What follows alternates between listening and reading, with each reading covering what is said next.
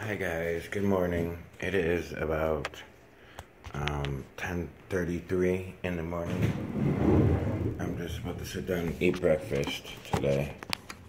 Um, I'm about to take a bath. Let's see if I can get this camera to stay. Okay. Um, I just want to say thank you for all the comments about this. Um, I had some people who commented to pick a number from 1 to 20 and Natasha Tank, reason why I asked you to pick a number from 1 to 20 because I was going to shave it or not, whoever was closest. And they're basically unanimous says don't shave it, but I'm going to trim it up. I, I feel like a grizzly bear. You know, they rawr, rawr. No, that's not me.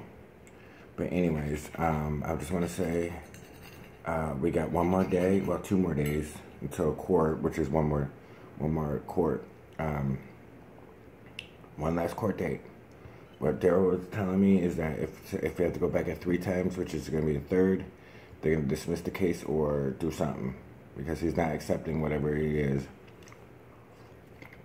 Sorry, I was eating breakfast. Um, he's not accepting it. If you guys don't know, we got into an accident back in February.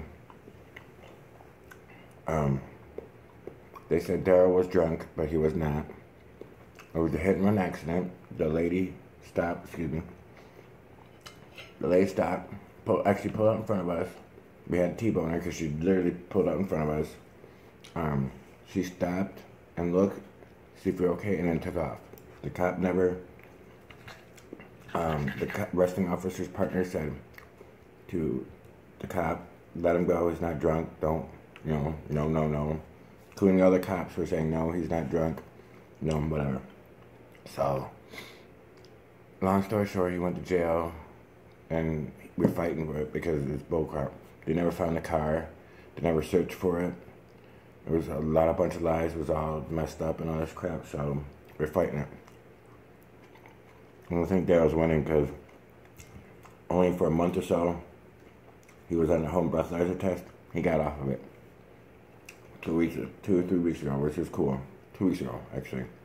And 29th, we got to go to court by 8.30 and stuff. So, I love you. I hope, wish this prayer, says a prayer that everything will go okay. They can get a license back. And then, then our car breaks down again. Mm-hmm. Yep, so it got fixed for free. Because originally it was covered under insurance and all that. And Daryl lost his job, couldn't afford a car payment, car insurance. It lapsed and everything. So I was paying every bills besides on the car. So I felt bad. So I don't know what's going on. But I'm to thank you for all my subscribers. I'm to thank you for all the nice comments, all the views. I'm to say thank you. Without you guys, KJ and SD, formerly Kevin and Jazzy, wouldn't be around. I love y'all. Um, pretty soon I might do some new merchandise in my merch store at Kevin and Jazzy Show Spreadshirt.com.